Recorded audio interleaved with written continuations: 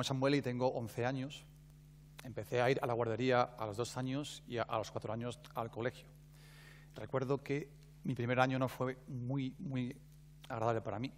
Los niños me molestaban en lo que parecían ser cosas sin importancia. Un empujón, un tortazo o un arañazo. Yo lo asumía como si fuese lo normal. Cuando pasé a primero de primaria, la cosa se agravó.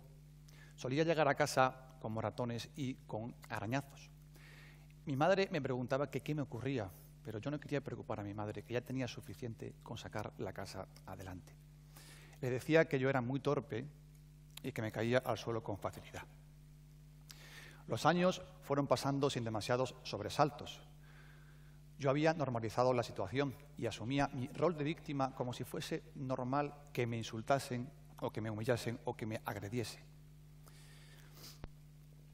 Cuando pasé a quinto de primaria, llamaron por teléfono a mi madre y le dijeron que su hijo Samuel, que yo, me había caído por las escaleras y me había roto un brazo y golpeado fuertemente en la cabeza.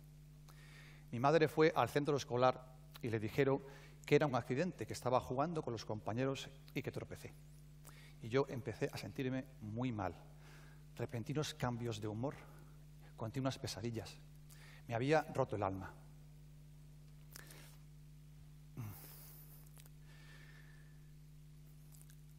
Recuerdo que ningún niño quería jugar conmigo, que nunca era invitado a los cumpleaños y me sentía solo. Y empecé a ir al psicólogo.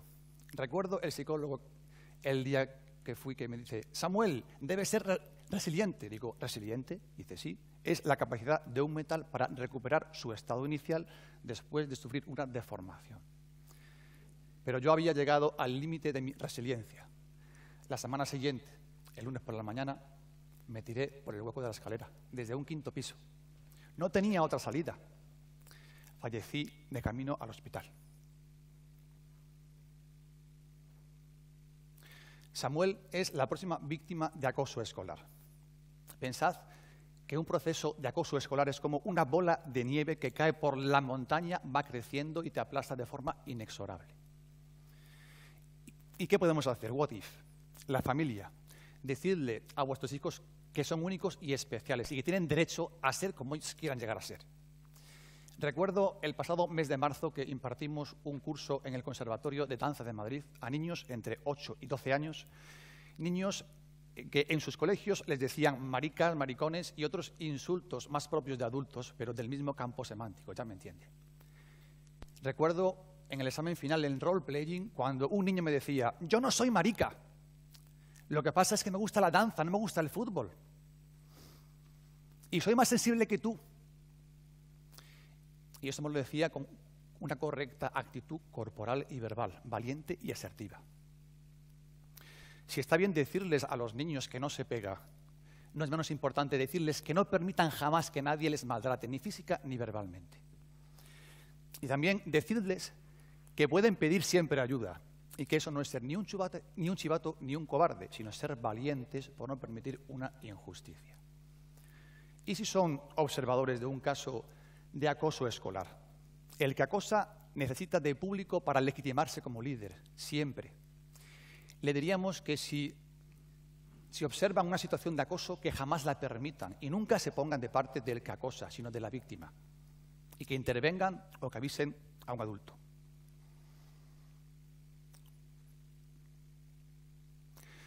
Los acosadores, ¿qué hacemos con los acosadores? suelen tener poca empatía y poco, a ver si lo arreglamos, vamos hacia atrás.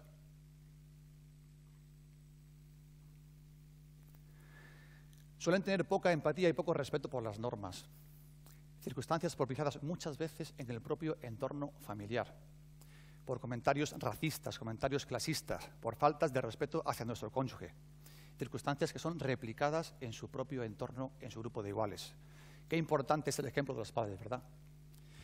Pero los acosadores lo más importante es que han aprendido por repetición que la violencia es rentable y eso es intolerable.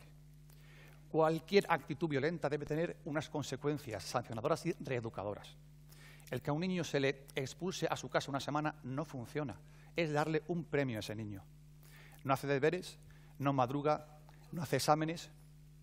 Lo que sí funciona es una sanción reeducadora, como que se tenga que levantar temprano, vaya al centro a hacer labores de limpieza en el patio, o que ordene libros en la, biblioteca, o incluso que vaya a guardería para cambiar pañales, una sanción que le cueste un esfuerzo y que sirva de ejemplo para el resto de su grupo de iguales.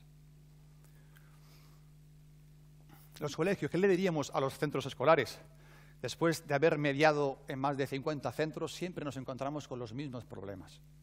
Le diríamos que contemplan el acoso escolar como un concepto tabú, como un término incómodo que hay que ocultar y que hay que esconder debajo de la alfombra como esta que tengo delante. Le diríamos que más importante que su prestigio como centro escolar es que los niños se sientan seguros y felices en su entorno escolar. Según el último estudio sobre preferencia de los padres a la hora de escoger un centro escolar, hay tres parámetros fundamentales. Un entorno seguro, un entorno tecnológico y un entorno bilingüe. O sea que hoy día los padres consideran que lo más importante es que sus hijos vayan a un centro escolar sin violencia y sin acoso escolar. Los profesores, ¿qué le diríamos a los profesores? Que en los últimos 20 años han perdido su prestigio y el respeto por parte de sus alumnos les diríamos que se impliquen, que sean valientes y que no dejen pasar ninguna ocasión, por pequeña que sea, para hacer pedagogía. Que entiendan que un caso de acoso escolar se puede comenzar cuando a un niño se le pone en el foco del centro del grupo, como yo lo estoy ahora mismo ante vosotros. Suponed que un niño sale a la pizarra a decir la lección, se equivoca, se pone nervioso. Se ríe un alumno y se ríe otro por contagio.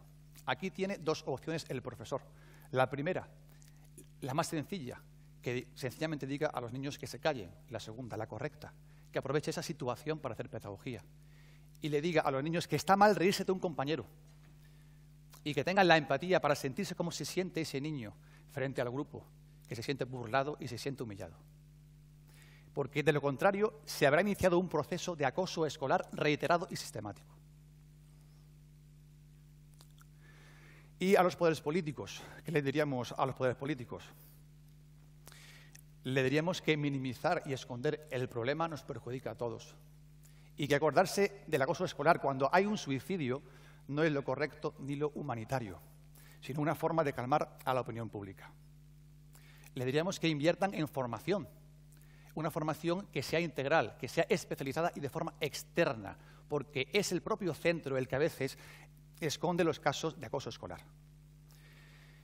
Recuerdo en una tertulia hace unos meses en la radio que había un político que decía, sin ningún tipo de problema, yo digo que en mi comunidad autónoma no existe el acoso escolar, negando la mayor y así demostrando su desconocimiento y su incapacidad para ejercer labores de gestión educativa. O unas jornadas en una importante agencia de noticias en la que un ex defensor del menor decía que hay entre un 1% y un 3% de índice de acoso escolar, sin nombrar los estudios de Save the Children, el estudio de UNICEF o el informe Cisneros, que dicen claramente que uno de cada cuatro niños sufre acoso escolar. Uno de cada cuatro niños.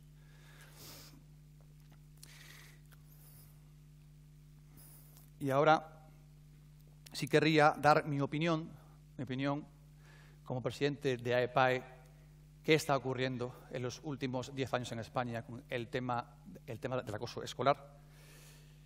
Eh, tras 25 años de experiencia docente a más de 3.000 niños y adolescentes. La sociedad de hoy día no es la misma de la de hace 20 años. Los niños ya no juegan en la calle, no viven en la calle y, en consecuencia, han perdido su capacidad social de arreglar cualquier conflicto. Y en muchos casos, su única herramienta de interacción social son las videoconsolas y los videojuegos. Y de ahí aprenden a banalizar la violencia y a considerarla como rentable. Y conceptos como la bondad o conceptos como la nobleza son percibidos como una debilidad y no como una fortaleza. Cuando un padre nos trae a un niño a un curso de los que imparto mm, con mi equipo, y dice, es que mi hijo es tan bueno que es tonto, es tonto, por eso la cosa. No, no, no, no, no, su hijo es extraordinario. Es un líder positivo, es uno entre su grupo de iguales que puede marcar la diferencia. Lo único que debe hacer es adquirir la confianza para sentirse asertivo, que sea valiente, que no se rinda y que no se deje prostituir por esa tendencia social del aprendizaje sin esfuerzo, del prosperar a cualquier precio, incluso si ello implica el hacer daño a los demás. Y como ejemplo se le podría decir a los niños que no son ni como un conejo blanco que se esconde en su madriguera ante cualquier peligro, ni un tigre que con su fiereza intimida al resto de los compañeros. Son como un puercoespín, son como un erizo, singulares y pacíficos. Defienden su territorio, no agreden a nadie, pero si alguien les intenta hacer daño, sacan las púas para defenderse. Es la actitud asertiva. Encendamos nuestros corazones eh, con pasión y contagiemos a nuestros hijos con la fuerza y con el ejemplo de los padres, porque esa es la mejor pedagogía. Gracias.